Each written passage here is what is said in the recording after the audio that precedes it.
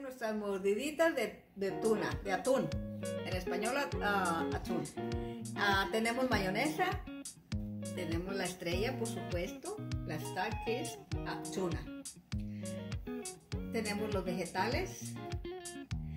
Tenemos tres chiles, en esta ocasión voy a usar tres chiles jalapeños, media cebollita, media cebolla y pues nuestras galletas, las Ritz. Este. Vamos a abrir este.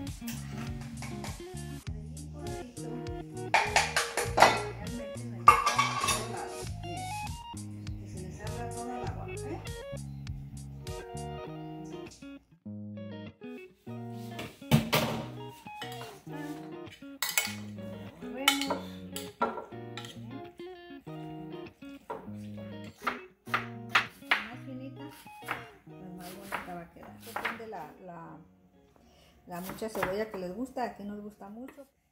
La cebollita, miren, ahí está moradita. Qué bonitos colores.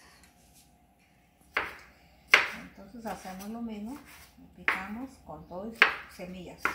Con todo y semillas para que, para que chile. Para eso le ponemos estas semillitas. Realmente pues esto es súper, súper fácil. Y es una comida económica, ahorita que hace calor, pues hay que comer cosas frescas. Miren qué bonito se ve, bien bonito. Lo revolvemos bien para que se, se integre todo, todo. Para que se integre de la misma manera a, a todo el atún. Así hacemos nuestras mordiditas de atún. Yo le llamo a esto mordiditas de atún, antojitos de atún poquita salecita porque pues a veces sí está desabridita, ¿verdad? Pero poquita, nomás al gusto. Como yo siempre les digo, esto es al gusto de cada persona, la sal y el azúcar.